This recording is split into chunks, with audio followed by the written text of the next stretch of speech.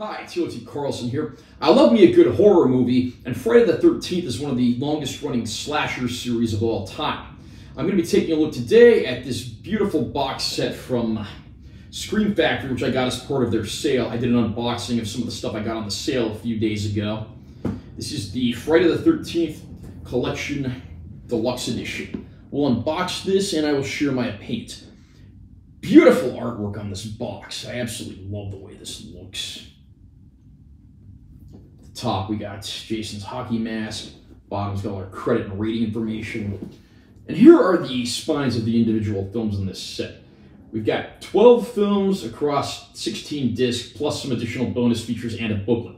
So let's unbox this and see what we got inside. Like I said to begin, we do have a small booklet here that has some nice essays and photos in it. Not going to go through every page of this, but I'll at least show off some of what's here.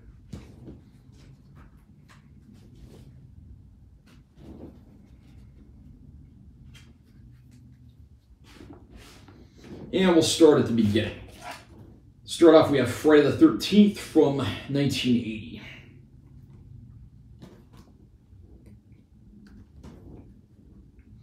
And this does contain both the uncut version and the R-rated theatrical version. We then have Friday the 13th Part 2, the movie that firmly establishes Jason Voorhees as our killer.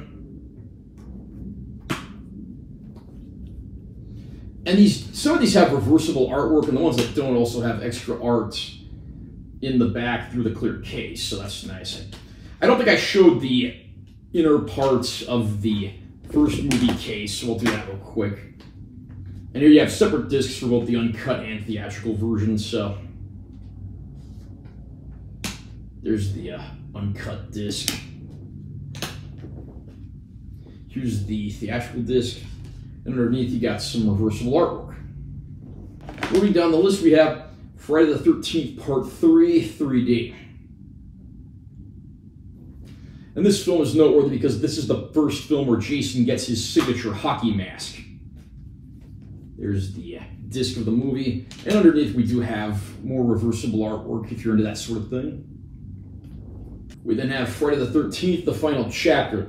The fourth film, which of course did not end up being the final chapter.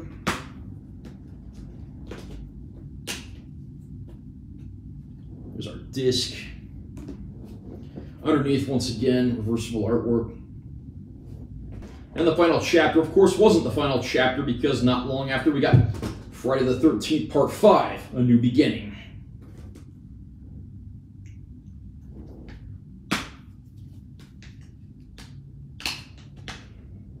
Here's our disc. More reversible art underneath. Friday the 13th, Part 6, Jason Lives.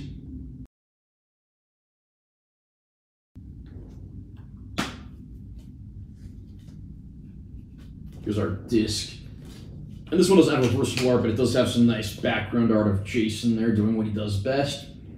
We then come to Friday the 13th, Part 7, The New Blood.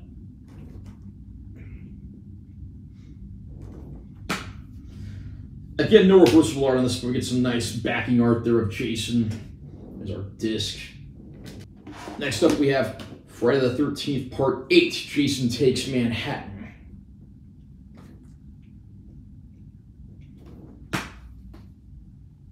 Again, this one doesn't have reversible art, but nice background art of Jason, funnily enough, standing in front of a hockey arena in New York. We then get into the 90s with Jason Goes to Hell, the final Friday.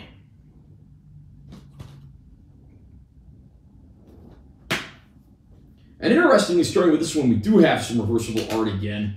We get two discs for Jason Goes to Hell. We get the theatrical version, and we get the uncut version. Right, The discs there, we have our reversible art. Honestly, not terribly different from what we get on the outside of the discs. We then take a trip into the future with Jason X, released in the early 2000s, putting something of a sci-fi angle on the series, which of course met with a mixed reception. This one also has reversible artwork. We then come to Freddy vs. Jason, which of course was a crossover with Freddy Krueger from the Nightmare on Elm Street franchise. And the first bit of bad news about this set is that Freddy vs. Jason and the film that came after, these are unfortunately identical to the earlier released Blu-rays of these movies. They are not new Blu-rays authored by Shout Factory, sadly enough.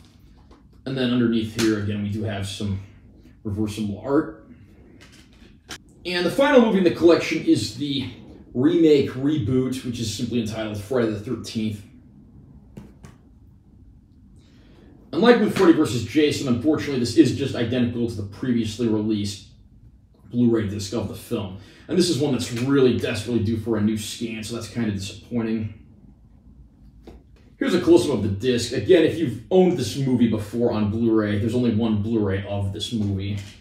And then the final two discs in the set are from a nice big collection of supplemental features. Not one, but two discs solely dedicated to extras, which is pretty nice for fans. Underneath, we've got some nice artwork of one of Jason's victims. I don't think there's really a whole lot I can say about the Friday the 13th franchise that hasn't already been said. The movies, of course, revolve around hockey mask, machete wielding serial killer Jason Voorhees, who is thought to have drowned at Camp Crystal Lake, but it's later revealed that he has in fact survived and is exacting his revenge on those that neglected to save him.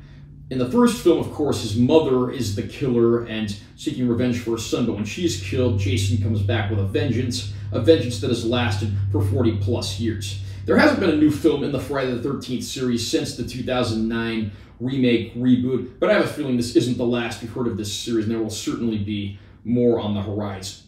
Now, I'm not going to get too into the individual movies here because you've probably seen them more times than I can count. I may in the future go through this box set and do reviews for each individual film, but if I do, that's certainly a story for another day. This is more a review unboxing of the set as a whole. And I do have to say, all of the movies that are in this set actually look very nice. The first four movies, according to the packaging, actually got new scans for this set, and every movie in here actually has surprisingly good picture quality. Now, there are a few special effects scenes that obviously haven't aged the best, but there's only so much you can do with those. Overall, though, I don't think any fan of the Friday the 13th series is going to be disappointed with what they see in terms of picture quality. Again, I really do wish the latter two films in this had gotten new discs and new scans instead of being repackagings of the old ones, but I am glad they're at least included. Each film has several bonus features on its respective disc, but then there's also those two whole discs of bonus features as well, so if you are a fan of the franchise, there's going to be plenty for you to watch. You'll keep yourself busy learning more and more about the creation of these films and everything that went into them. It's a great supplement package. Picture quality is great. The movies themselves, of course, are hit and miss, but I'm sure every fan of the series has a soft spot for at least some moments of all of them. So if you are a fan of the Friday the 13th series, or you're a fan of just horror movies in general, I strongly recommend this package. Are you a fan of Friday the 13th? Did you pick up this collection during the Scream Factory sale? Comment down below and let us know what you think. Also, I remember to subscribe to this channel for more content. I'm always posting new videos. And make sure to give one a like if you found it helpful. I'm Taylor T. Carlson. I'll see you next time.